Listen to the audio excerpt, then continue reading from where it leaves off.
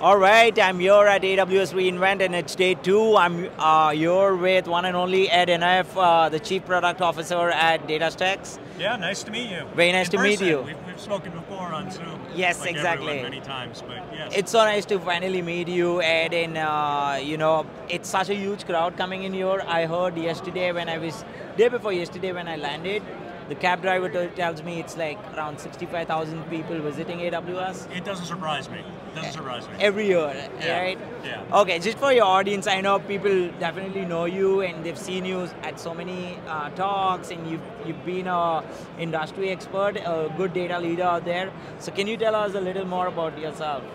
Well, sure. So, I've uh, I've been at DataStax for the last four years now. Yep. Obviously, we're the Cassandra company.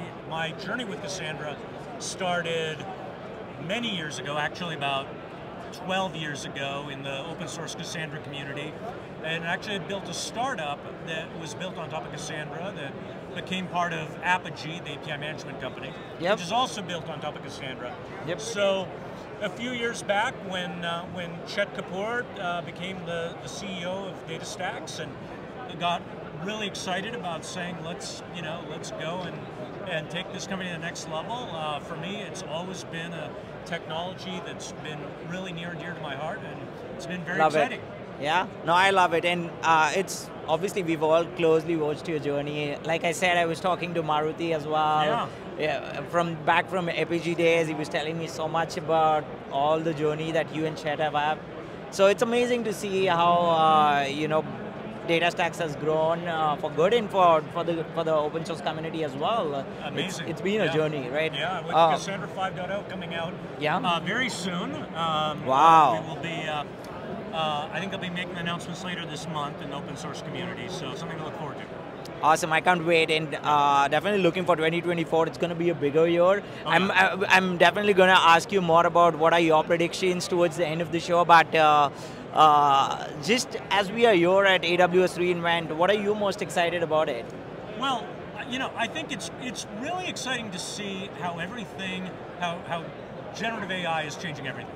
Right. And so I think like most of the people here, I'm looking forward to seeing, you know, all the announcements they've made so far and everything around foundational models and Bedrock and Yeah. all the partnerships. Uh, it's really an exciting time for people that are building, uh, building on top of AI. So that that's what has me most excited. That's awesome. I think uh, another big thing that I've been hearing a lot around is you know vector and uh, you know RAG. Uh, I would love to know more about it. I also saw this signage that says vector made easy, which looks pretty cool. So we'd love to uh, for our audience. We would love to know how does uh, how does DataStax makes it easier for us? Yeah. Well, sure. So, you know, vector has become the most important thing in databases this year. True. Uh, it, it is more than just a data type, the way that it's used in building AI applications, and that's why you see everybody talking about RAG. Yeah.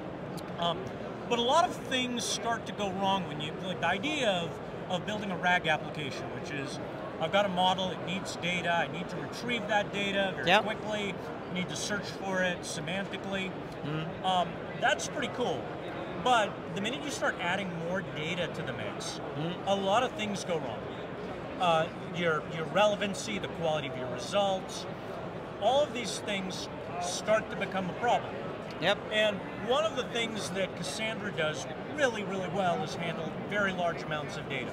Right. And we've taken Cassandra down to its core internals and made it so that vectors are a native data type, which means that Yep. you now have the ability to put any amount of content Yep. into Cassandra, turn it into vectors, and tie it into your large language model. So that is the starting point in terms of making it easy because even though everything looks easy at the surface, it just stops working. And True. I've heard this from a Yeah. lot of folks who start going and building these, you know, examples and demo apps, and then they're like, wait a minute, the results I'm getting are terrible.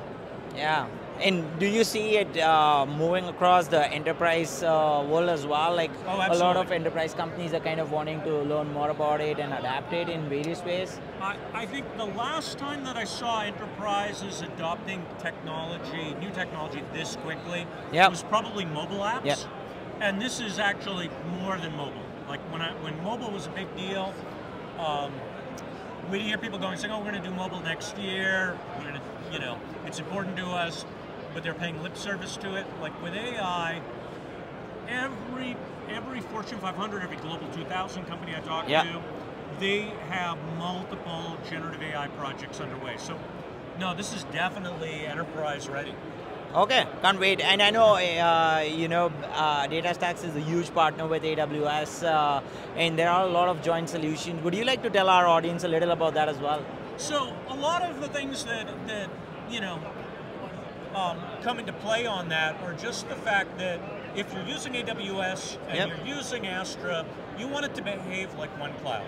So everything from Nice. how we integrate at the marketplace to within our developer portal where you come in and you're importing data Yep. and you're automatically able to go and have things like Bedrock serving the models to turn your data into vectors, being able to easily integrate it, being able to go and have uh, whether you're doing message-oriented connections, whether Yep. you're using uh, you know cases, whatever you're using, we have the deep integrations in place. So Yep. so that stuff has been really exciting. Now, we're also seeing things like private link that are really important for people to be able to get securely at their data Yep. and bring them into these AI applications, being things that both the, that the customers are asking for. So there's, a, you know, being able to go and complete the stack and being able to give people, um, a, a, you know, end-to-end technology platform that they can build Yeah. on is really a key thing. Okay, this is pretty interesting. In uh, thanks for sharing those insights, Ed. Uh, uh, I know we are uh, here for the next two days, and uh, what's what, what are the key takeaways that you feel that uh, the audience could take from DataStax if they are around? Well, so first thing I would say is if you're not already playing with this technology, if you're not already prototyping uh, with it, you really need to start. Yeah. Um, every company I talk to is doing this stuff. You know, but I do keep on running into folks who are going and saying, "Oh, I don't see the use case. I don't, don't see all that." I, I'd say, jump in there, make sure you're paying attention to this stuff. It's moving very, very quickly, and I don't think it's going to slow down anytime soon. I love it. And uh, one last question for our audience. Like I said, 2024 around uh, 2024 is just around the corner. Yeah. So, um, any any even one prediction that you would like to share with our audience? Oh, I wish I could predict the future. So here's what I, I the, the predictions I'll make will be um, first of all, as I mentioned, Cassandra 5 Ditto. Yes. Ditto is going to come out. It's Yes. going to be awesome. Yeah. It has vector uh, built in. It's got transactions uh, for the first time for Cassandra. So Yep. you can use it, you know, for any use case. right? Um, bunch of great stuff on that. But other than that, I suspect that 2024 will be even more AI centric than uh, 2023 was. All right. So it's not going to be any more buzzword, but things are getting real, and we're going to see real results coming out there. I, right? I, I think so. awesome. This was great, Ed. Uh, Ed. I think uh, I'm definitely looking forward to see what more you kind of coming up with, and uh, thanks for visiting the Ravit Show. Uh, great, great seeing you. I'll see you online next time. Awesome. Thank you very much, Ed. All right.